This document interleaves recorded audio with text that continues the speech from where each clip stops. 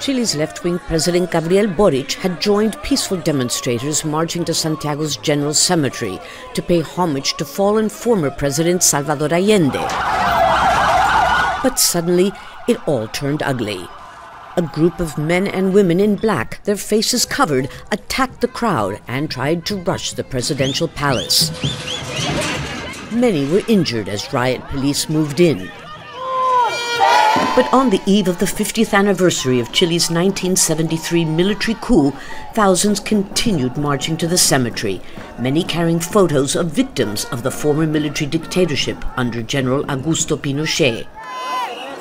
Juan Pablo Letelier's father was one of them. This is a day of remembrance, a day of human rights, a day where we remember what happened 50 years ago.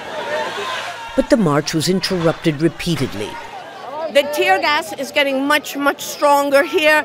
Uh, glass bottles and Molotov cocktails are being thrown back there, but not at the police, but rather at some members of the socialist and communist parties that made up part of President Allende's government 50 years ago, but also the new government of Gabriel Boric, President Gabriel Boric, whom they are now calling traitor.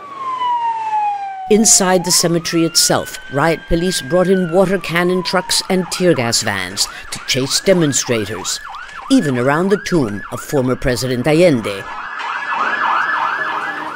At the Museum of Memory, a more emotional scene, as a survivor of one of the dictatorship's interrogation and torture centers embraced Brazilian Evandro Teixeira, the photographer who had photographed him in 1973 in a dungeon when he was 15 years old. Yo conocí esta foto y me contacté Two weeks ago, I saw this photo on a poster and contacted the Brazilian embassy because I am a survivor of the National Stadium incident.